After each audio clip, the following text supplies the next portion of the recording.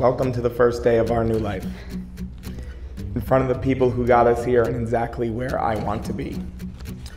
It wasn't an easy road. It wasn't a magical straight line of destiny towards each other. We took the road less traveled than most to get here, and it makes me all the more grateful to be here today with you. It's you and me, you and me now. Living the quiet life. It's you and me, you and me now. We've been burned once or twice.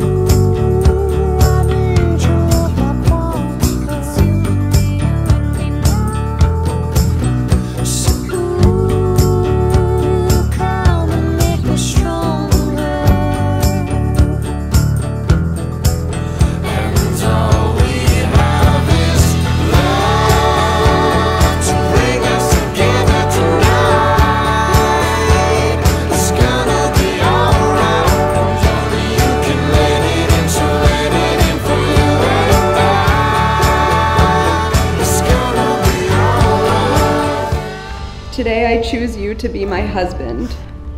I accept you who you are and offer myself in return. I will care for you, stand beside you, and share with you all of life's adversities and all of its joys from this day forward for all the days of my life. I love you.